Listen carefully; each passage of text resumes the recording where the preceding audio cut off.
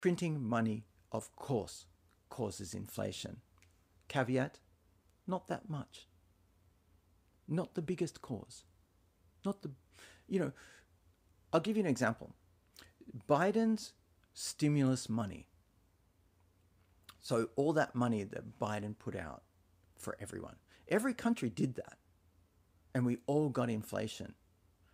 But of that inflation, a lot of economists are in agreement that the price gouging, the over compensating by corporations, was equal to, if not more than, the inflation caused by the printing of money.